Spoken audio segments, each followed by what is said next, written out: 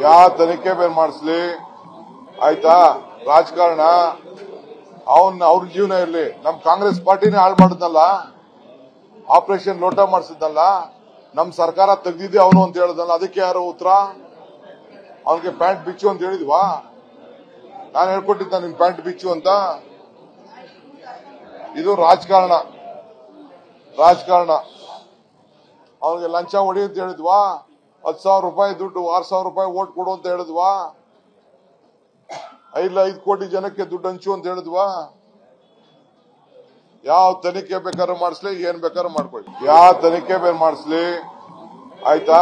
ರಾಜಕಾರಣ, ಅವನ್, ಅವ್ರ ಜೀವನ ಇರ್ಲಿ. ನಮ್ ಕಾಂಗ್ರೆಸ್ ಪಾರ್ಟಿನೇ ಹಾಳು ಮಾಡಿದ್ನಲ್ಲ? ಆಪರೇಷನ್ ಲೋಟ ಮಾಡಿಸಿದ್ನಲ್ಲ? ನಮ್ ಸರ್ಕಾರ ತೆಗ್ದಿದ್ದೆ ಅವನು ಅಂತ ಹೇಳಿದ್ನಲ್ಲ? ಅದಕ್ಕೆ ಯಾರು ಉತ್ತರ? ಅವನಿಗೆ ಪ್ಯಾಂಟ್ ಬಿಚ್ಚು ಅಂತ ಹೇಳಿದ್ವಾ? ನಾನು ಹೇಳ್ಕೊಟ್ಟಿದ್ದ ನಿನ್ ಪ್ಯಾಂಟ್ ಬಿಚ್ಚು ಅಂತ. ಇದು ರಾಜಕಾರಣ. ರಾಜಕಾರಣ. ಅವನಿಗೆ ಲಂಚ ಹೊಡಿ ಅಂತ ಹೇಳಿದ್ವಾ? ಹತ್ತು ಸಾವಿರ ರೂಪಾಯಿ ದುಡ್ಡು, ಆರು ಸಾವಿರ ರೂಪಾಯಿ ಓಟ್ ಕೊಡು ಅಂತ ಹೇಳಿದ್ವಾ?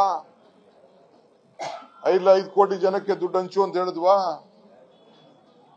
ಯಾವ ತನಿಖೆ ಬೇಕಾದ್ರೂ ಮಾಡಿಸ್ಲಿ, ಏನ್ ಬೇಕಾದ್ರೂ ಮಾಡ್ಕೊಡ್ರಿ ಆದ್ರೆ ಆ ಕೆಳಮಟ್ಟ ಶಬ್ದ ಉಪಯೋಗ ಬೇಡ. ಮನುಷ್ಯನ ಪರ್ಸನಲ್ ಲೈಫ್ ಎಲ್ಲರಿಗೂ ಇರೋದು. ಅದ್ರ ಬಗ್ಗೆ ಪದೇ ಪದೇ ಚರ್ಚೆ ಮಾಡಬೇಡ. ಶಿವಕುಮಾರ್ ಅವರು ತಲೆ ಔಟ್ ಆಗಿದೆ. ಅವ್ರ ತಲೆ ಸರಿ ಇಲ್ಲ. ಒಂದು ಪದೇ ಪದೇ ಪದೇ ಅವ್ನ ಟೀಕೆ ಮಾಡಿ ನಾವು ನಾವು ಸಣ್ಣರಾಕು ಅವು ಕೆಳಮಟ್ಟ ಹೋಗಿದೆ ನಾವು. ಅವು ಎರಡು ಸಾವಿರದ ಎಂಟರ ಶಿವಕುಮಾರ್ ಉಳಿದಿಲ್ಲ.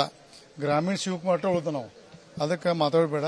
ಈಗ ಭಾಳಷ್ಟು ಶಬ್ದ ಮಾತಾಡ ಒಳ್ಳೆ, ಅದ ಶಬ್ದ ಪ್ರತಿಯೊಂದು ಶಬ್ದಕ್ಕೆ ಬದ್ದಿದ್ದೀನಿ ಮುಂದು ಈಗ ಸಿದ್ದರಾಮಯ್ಯ ಸಾಹೇಬ್ರಿಗೆ ಮತ್ತೆ ಮನೆ ಮಾಡ್ಕೊಲ್ಲ ಅವ್ನ ಬೆಣ್ಣ ಹತ್ರ ಹಾಳಾಕಾರ ದಯವಿಟ್ಟು ವಿರೋಧ ಪಕ್ಷ ಅವ್ರು ಒಳ್ಳೆ ಗೌರವದ ರಾಜ್ಯದಲ್ಲಿ ಶಿವಕುಮಾರ್ ಮಾತು ಕೇಳಿ ಪದೇ ಪದೇ ಹೋಗಿ ಎಲ್ಲರೂ ಹೋಗಿ ಅವರು ವ್ಯಕ್ತಿತ್ವ ಹಾಳು ಮಾಡ್ಕೊಬಾರ್ದು ಮನೆ ಮಾಡ್ಕೋತಾನೆ